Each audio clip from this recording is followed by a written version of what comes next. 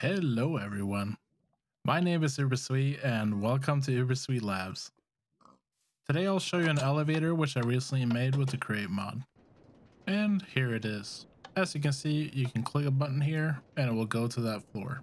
You will also see that I have a Nixie tube here which will indicate the floor that it's on. And we can also click this button here to recall it back down to the first floor. The Nixie tube will show the floor that it's most recently been on. The elevator can be called to go to any floor. This elevator uses a clutch and a gear shift with a rope pulley, so even if you click a button while it's moving, it's not going to break. Now, the way this works is that on the back of this pillar here where I have the buttons, I have redstone links. So these and the one on the bottom here will send out a redstone signal whenever a button is pressed. And then I have some rose quartz lamps. These store the input of the last button that was pressed. Each lamp corresponds to the floor you want to go to. So we have 0, 1, 2, 3, and 4. This is because I also built a basement down below here for all the redstone. And the way that these lamps work is that when one is active, it will deactivate all the other lamps. And then on the opposite side here, I have another set of redstone links, and these will just send out the signal of whichever lamp is active.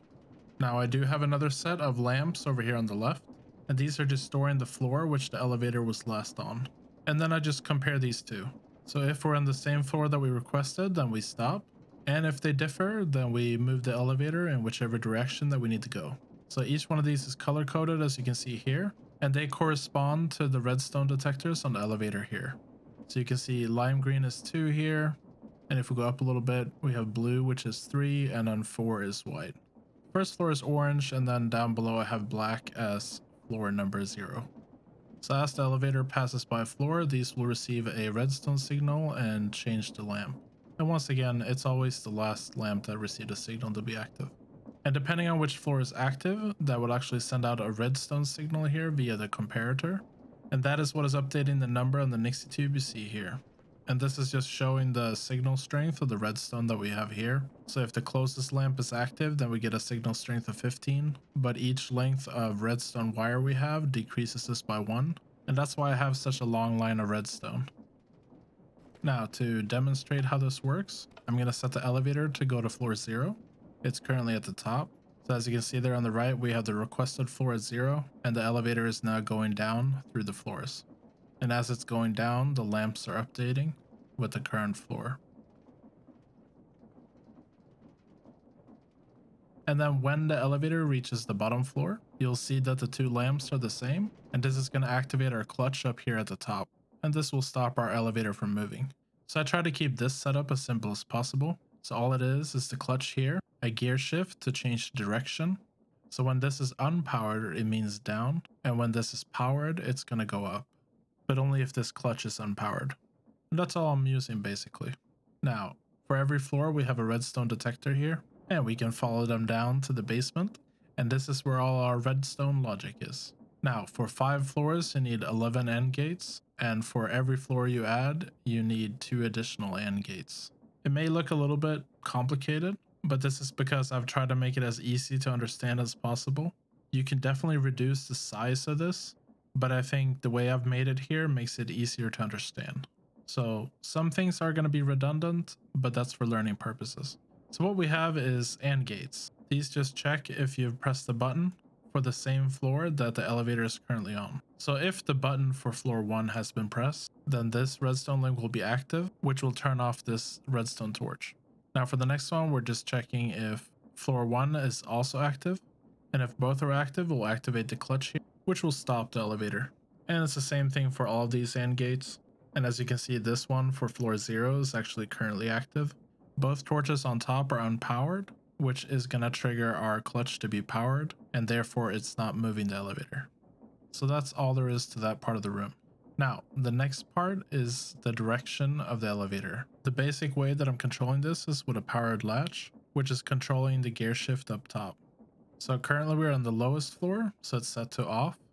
But if we fly up here and we click on the fourth floor, we can see that the powered latch is switched to on instead, which is going to make the elevator go upwards. Our AND gates have also changed, which has unpowered our clutch, allowing the elevator to move. And as you can see, they will update as the elevator moves to the top.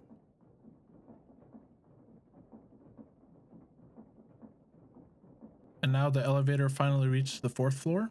We can see that the clutch is powered because the floor matches the last button press. So let's have a look at some of the logic over here. This red link here is saying that we're currently on the fourth floor, and if we press either the orange, blue, or green floor, then this AND gate will be triggered, which is going to power this redstone link. And that's the same one as this receiver here. And that is going to go ahead and turn off the latch right here, which is going to change the direction of our gear shift to make the elevator go downwards. Now you can also see that floor zero, which is right here, will immediately turn off the latch. And if you press floor four, it will immediately turn on the latch. Since these are the highest and lowest floors, the logic is pretty easy. Now, if we're on the orange floor here and we want to go to the blue or green floor, then this signal will activate. The same thing here if we're on the blue floor and if we want to go to the orange or green floor, then this signal will activate. And then finally for the middle floor, which is green, if we press orange, we'll go down. And if we press blue, then we're going to go up. So that's all these gates are doing basically. I also went ahead and created a schematic of this so you can import it into your own world. If you don't know how schematics works or how the schematicannon works, you can check my previous video, which goes through all of the different aspects of the schematicannon and schematics and how they work. Thank you so much for watching. If you enjoyed the video, please do give it a like. And if you want to see more of my videos, do let me know by subscribing. I hope you have a wonderful day and I'll see you next time.